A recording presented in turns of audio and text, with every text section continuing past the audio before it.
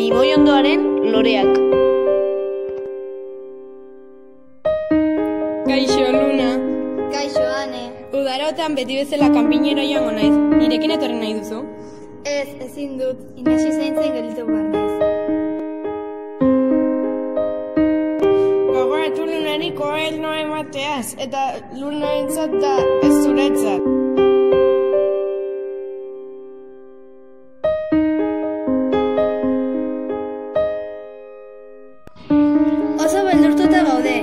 Claudia negarrez ari da eta beraman non dagoen galdezka ari da. Klase bat izan behar ditut, amona oso gaixo dago. Eta Nikaraguara joan behar dut zaintzera. Orduan Inasi eta Claudia zaindu behar dituzu nire partez.